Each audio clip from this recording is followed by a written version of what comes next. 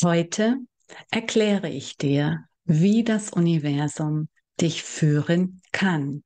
Natürlich kannst du andere äh, Möglichkeiten ausprobieren. Ich erkläre es dir heute ganz im Zeichen der Blumen.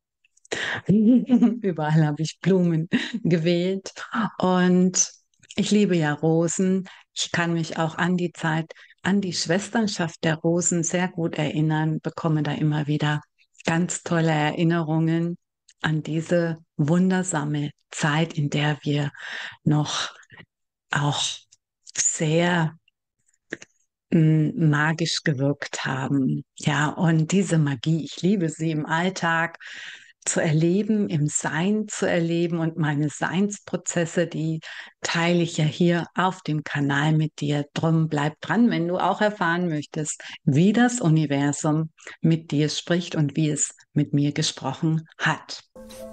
Und zwar als allererstes habe ich gefragt, nicht nach, natürlich nicht als allererstes, aber hier in letzter Zeit, ähm, was ist denn jetzt dran? Ja, es hat sich ja meine Seele gezeigt und dann dachte ich so, hm, irgendwie spüre ich eine Veränderung und fragte das Universum, was ist denn dran? Und ich erhielt dann ja so einen Impuls, ins Einkaufszentrum zu laufen und mir dort Blumen zu kaufen. Ich bin dann hingelaufen, habe mir Blumen genommen, Rosen. Ich liebe ja Rosen und habe auch gar nichts mehr weiter gedacht. Stand dann an der Kasse. Es waren ein paar Leute vor mir und darum habe ich die Rosen genauer betrachtet und auf der Verpackung, also das war so braunes Packpapier, stand drauf Rosen für Göttinnen. Ah, ich spürte, das ist ein Hinweis. Und ich habe mir ja dann noch so einen goldenen Haarreif gekauft mit Glitzersteinen und ein goldenes Oberteil und wirklich gespürt, es ist etwas in die göttliche Ordnung gekommen. Das Göttliche in mir erwacht oder ist erwacht. Und dann habe ich kapiert, ah, diese Rosen, die tragen eine Botschaft, das ist ja toll. Und das nächste Mal habe ich dann schon auch gefragt, gedacht, was ist denn jetzt als nächstes bei YouTube dran? Was soll ich denn mal machen für die Leute? Bin wieder ins Einkaufszentrum gelaufen, habe mir dort Blumen gekauft, ohne zu gucken, ja, habe sie genommen und das war die Edelrose Luna.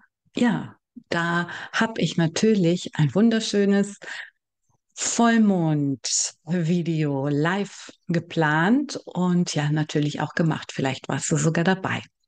Da haben wir ja auch mit der äh, Lichtmeditation für 21 Tage begonnen und die Challenge war ja schon mal ganz toll erfolgreich. Da habe ich ja so super Feedbacks bekommen, dass ich die jetzt nochmal gemacht habe und aber äh, erfahren habe aus der geistigen Welt, diese Begleitung soll ich dauerhaft anbieten. Und dann habe ich ja so ein bisschen gedacht, ja, was, was soll ich denn da verlangen? Was soll ich denn, ähm, wie manche jetzt ja so beschreiben, ähm, es ist alles grenzenlos, wir können Millionärinnen werden mit unserem spirituellen Business und ich habe dann wirklich meine Führer, meine Geistführung gefragt und habe gesagt, was soll ich denn da für einen Preis nehmen? Und dann bin ich wieder ins Einkaufszentrum gelaufen, habe mir Blumen gekauft. Da stehen sie sogar noch. Und es ist ein, sieht man jetzt hier nicht so, aber es ist ein bunter Rosenstrauß und der hieß Fair Trade Gaia. Also ich habe dann ein bisschen reingespürt und es geht darum, es geht um unsere Beziehung mit Mutter Erde, den Gleichklang mit Mutter Erde, dann können wir überhaupt nichts falsch machen. Das beziehe ich jetzt auch sehr stark noch in meine Begleitung mit ein seitdem. Und da passiert ganz viel. Also wir werden geerdet auf so vielen Ebenen und also so unterstützt auch von der geistigen Welt, aber auch von dem Licht, das wir alle sind. Denn darum geht es, in dieses Einssein einzutauchen.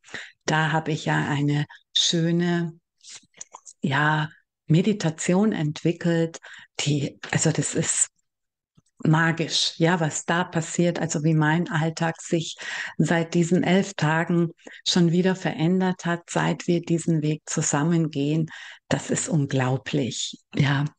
Ähm, immer wieder rufen mich ja Coaches an oder schreiben mir, die etwas verkaufen möchten, die äh, auch kostenlose Beratungsgespräche anbieten. Und dann, ja, kommt oft so auch ungefragt, ja, du bietest viel zu viel an, du machst ja dieses und jenes, die Menschen wissen gar nicht, was du machst.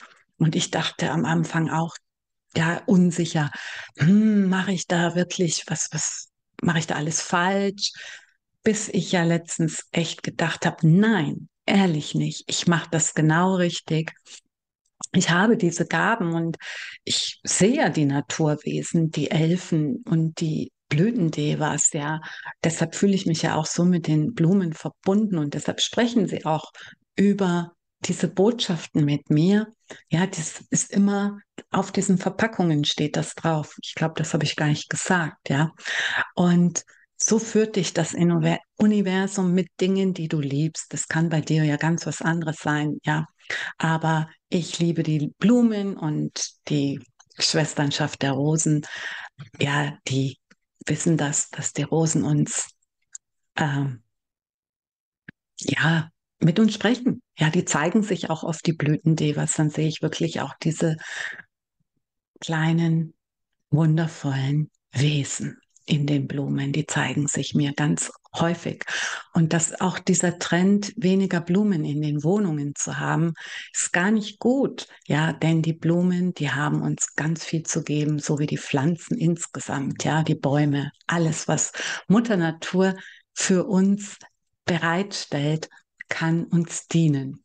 Aber nicht nur die Rosen, denn wir haben, mein Mann und ich, uns jetzt von der Mia nochmal verabschiedet. Wir haben ihren, ihre Asche im Garten verstreut, auch ihr Bild aus dem Wohnzimmer ja in die Schublade verbannt, auch andere Verstorbene, die wir im Wohnzimmer auf Fotos rumstehen hatten, sind in die Schubladen gewandert, weil die geistige Welt mir das so gezeigt hat, dass die Energien da besser fließen können. Wir dürfen natürlich trauern und ist ja wichtig auch, aber dann auch loslassen und einfach, ja, Platz für Neues machen und dass das auch einfach alles wieder in Fluss kommt. Ja, unsere Wohnungen, unsere, wie wir uns, ähm, ja, sage ich mal, in unseren Wohnungen Betten, also auch äh, einrichten.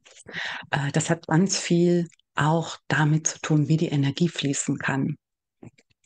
Da Genau. Ich wieder eine neue Frage gestellt. Ähm, ach so, dann kann auch das Universum über Nummernschilder antworten. Ich habe nämlich auch die geistige Welt gefragt, ja, was ist denn jetzt wirklich das, was ich, was ist denn wirklich meine Gabe, was ich den Menschen geben soll? Und da laufe ich in dem Moment an einem Auto vorbei und da steht H-E-B, also heb, Strich, an. E-A-A-N, Entschuldigung. Also heb an. Und das mache ich ja schon mit den Frequenzerhöhungen, aber auch mit der 21-Tage-Challenge, die ich in Zukunft, äh, wie will ich die nennen, glücklich schwingen? Nein, naja, ist so ähnlich. Ich weiß es jetzt gar nicht mehr. Ich habe es mir aufgeschrieben. Schwinge glücklich. So. Schwinge glücklich nennen werde, diese Begleitung. Und bin dann noch nicht fertig, wie ich das aufbauen werde. Ich werde es natürlich teilen, aber ich werde jetzt auch noch weiter berichten, wie das Universum weiterführt. Ich wohne ja in Nürnberg und da ist ein HEB-Nummernschild. Ich weiß gar nicht, was das für eine Stadt ist. Ungewöhnlich, denn ich fragte dann nochmal, aber wie? Und dann sehe ich, werden meine wird mein Blick auf ein Nummernschild gelenkt. Hebe oder heb so 3, 3. Das ist ja die Christuszahl. Einfach, aber die energetische Christuszahl, ja, da fließt einfach Jesus-Energie, Christus-Energie. Und ich habe verstanden, also heb so. Und ihr glaubt es nicht, dieses heb ist jetzt schon in allen Variationen mit heb an, heb so. Ähm, ich weiß nicht, was habe ich gestern noch gesehen, auch wieder mit heb und irgendwie, ich weiß es jetzt nicht mehr. Auf jeden Fall, ich weiß gar nicht, wo diese Autos herkommen, aber komisch, ne? es gibt ja keine Zufälle, alle in Nürnberg und die, mein Blick wird drauf gelenkt. Und ja, das ist immer, wenn ich eine Frage stelle, dann weiß ich automatisch, wann die Antwort ist. Es ist wirklich so, dein Blick wird da drauf gelenkt. Wenn du es ein paar Mal geübt hast, dann weißt du auch den Unterschied, wann eine Antwort fließt und wann nicht. Jedenfalls, ja, ich bin ja die Zweiflerin, nein, eigentlich nicht, aber ab und zu zweifle ich schon. Und dann habe ich mal wieder gezweifelt und dachte, ach, es ist Zeit für einen Blumengruß, obwohl ich mir die erst relativ frisch gekauft habe. Aber ich kann ja auch im anderen Zimmer noch Blumen stehen haben.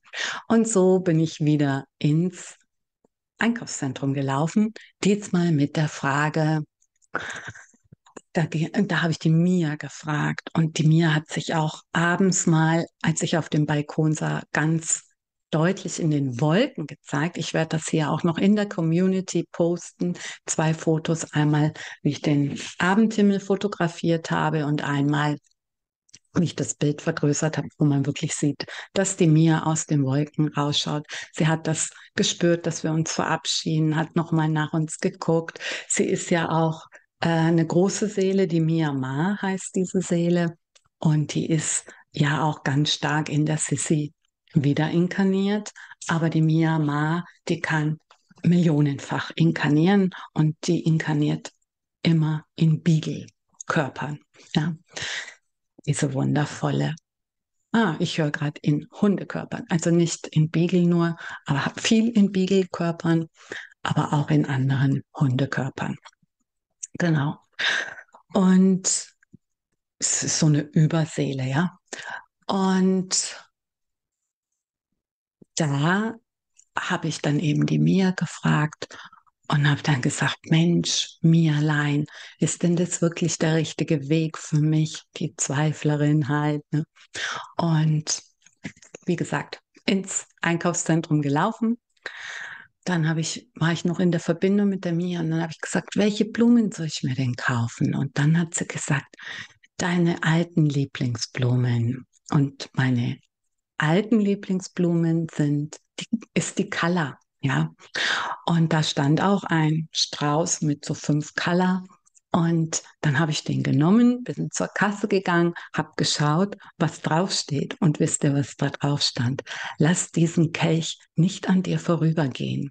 Ich finde das so magisch, weil ich ja dann schon wieder gedacht habe, ach, ich muss günstiger sein und ich will ja, dass alle sich das leisten können. Und aber die geistige Welt, die sagt wirklich, wir dürfen unseren Preis verlangen. Natürlich werde ich keine 50.000 oder 100.000 Euro, wie das ja wirklich manche machen, verlangen, denn hier Fairtrade, Gaia hat mir ja auch gesagt, es soll fair sein, es soll auch im Hinblick sein, dass wir für Mutter Erde wirken. Und da sind ja ganz große Seelen auch in den Feldern, ja, sage ich noch, in diesen Bewusstseinsstufen, die noch ganz viel bewirken können für die Erde. Die sind ja noch nicht mal richtig losgegangen und die abzuholen, hm, die, sage ich mal, sind oft noch gar nicht so bereit, so viel Geld dafür auszugeben, ja, obwohl es auch Sie spüren das, ja, dass das das Tolle ist, dass das ihnen ganz viel bringen würde, aber sie haben noch viel zu viele Ängste und noch viel zu viele Dogmen und Glaubenssätze und was weiß ich. Und die, für die mache ich ja ganz viel kostenlos und da wird es auch einmal im Monat, nämlich zu Vollmond, oder ich versuche es zumindest um den Vollmond zu machen, immer kostenlos auch eine wundervolle Wir sind das eine Lichtmeditation geben mit natürlich auch ähm, Fragen, Antworten, auch äh, neueste Seinsprozesse, die mir ähm, begegnen, teile ich dort Tipps, wie du mit dem Universum sprechen kannst und so weiter. Darauf freue ich mich.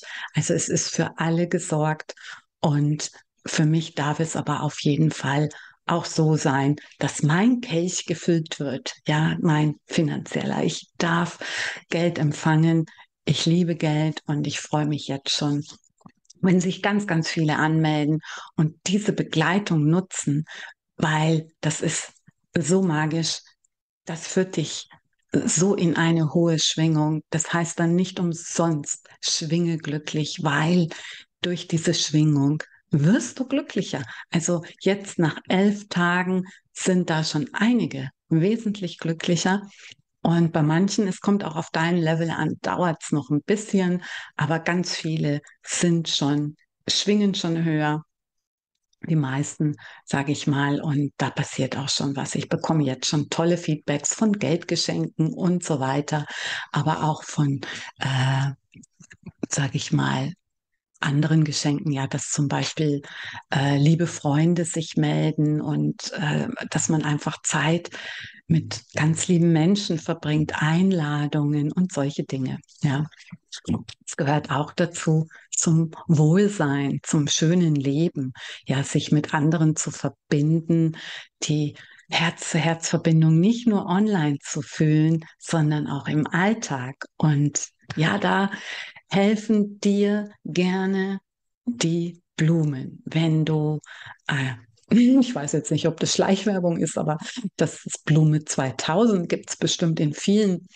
äh, Städten und da ist wirklich auf jeder Verpackung so eine Botschaft drauf oder was heißt Botschaft? Ne? Manchmal der Name alleine der Rose, ja, wie jetzt hier Fairtrade äh, Gaia, kann dann schon ein Hinweis sein auf die Frage, die du vorher gestellt hast. Ja, habe ich jetzt noch was aus dem Science-Prozess, also die Magie der Blumen ist unbeschreiblich. Ich habe ja letztes Jahr oder vorletztes Jahr, weiß ich gar nicht mehr, auch mal ähm, Veilchenblüten-Essenz hergestellt. Also Veilchenblüten, weil da auch die Mia ja so krank war und Veilchenblüten trösten sehr, ja. Und da habe ich ja auch dieses äh, Aura-Spray damals benutzt und so. Und das bringt auch sehr, sehr viel. Ich habe schon mal überlegt, ob ich mehr diese äh, Blütenessenzen mache, aber das ist nicht so mein Weg. Ich bin der telepathische Typ, der einfach alles über die Energie macht und dann schreibe ich auch noch so gerne. Das sind so meine Sachen. Außerdem bin ich noch gerne in der Natur, wenn ich jetzt auch noch anfange, Essenzen herzustellen. Das ist, kann mal sein, wenn ich einfach so einen Impuls bekomme, aber das ist einfach nicht das, was ich so gerne mache, auch wenn es auch Spaß macht ab und zu, ne? Weil dann ja sich auch die Blütendevas so, so stark zeigen, ne, wenn man in diesem Prozess der Herstellung ist. Also das ist Wahnsinn, das ist magisch, das ist berührend, ja, und vor allem die Menschen spüren das auch. Das ist auch damals sehr gut gegangen. Ja, so wie ja, es die Blüten auch verdient haben. Ja, denn sie unterstützen dich so, so gerne und probier es doch einfach mal aus. Vielleicht auch mit anderen Dingen, die du gerne machst. Ja, das muss jetzt nicht das Gleiche sein. Du kannst es ja auf alles, ne, wie jetzt zum Beispiel ich ja auch über Nummernschilder ja auch äh, Antworten bekommen habe. Ne?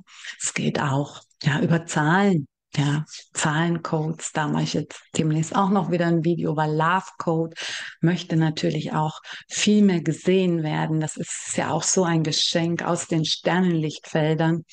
Also ein ganz tolles energetisches Lichtwesen, was uns mit Zahlenreihen beschenkt.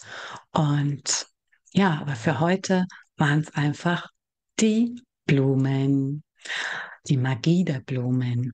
Und ich hoffe, die hat dich im Herzen erreicht und ja, probier's einfach mal und teil gerne deine Erfahrungen mit mir und mit allen, die hier so auf YouTube und auf meinem Kanal rumschauen.